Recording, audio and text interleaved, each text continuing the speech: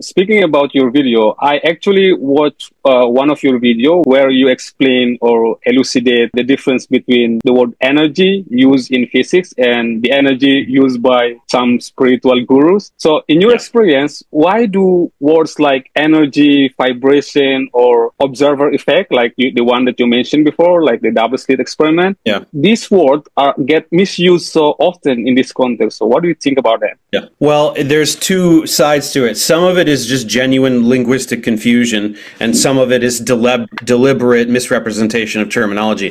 For the for the confusion, it's just that language is vague and words have multiple meanings, and we use words metaphorically. And so, if you literalize the metaphor, right? If I say this room has good energy, I can say that, but I'm speaking metaphorically. It doesn't literally emanate electromagnetic radiation or, of a, yeah. or something like that. Um, I'm speaking metaphorically, but if you literalize it, then it doesn't make any sense. Or positive and negative, right? Positive yeah. and negative energy, right? We can be we can speak about, about values for potential energy that have a positive or negative arithmetic yeah. value, yeah. right? Plus or minus.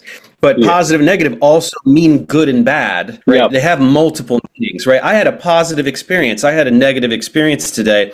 And so when you equate those two meanings and have crossover, that's where you get confusion, right? There's negative energy, positive energy. No, that's not, it's not like good or bad energy. That doesn't mean anything. So there's genuine confusion, and I want to be charitable there where people are just genuinely confused. But then there's obviously gurus who, who muddy the waters on purpose and and, use yeah. words incorrectly on purpose.